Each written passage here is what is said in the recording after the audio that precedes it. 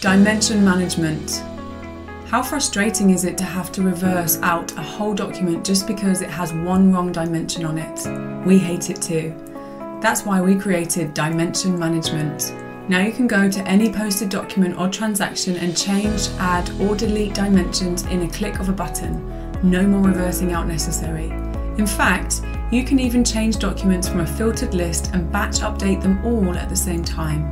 We know this is a powerful operation and can be dangerous in the wrong hands, so Dimension Management makes sure to check that the user has correct security permissions and that the date ranges are correct. It even keeps an audit trail and has an undo function just in case.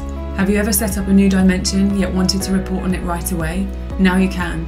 Dimension Manager also allows you to fill in dimensions on customers, vendors, items, and more, and then backfills all the appropriate historical transactions so you can report on them immediately. Dimension management makes ensuring that your data is correct and your reports are accurate a breeze. Give your users the tools they need today.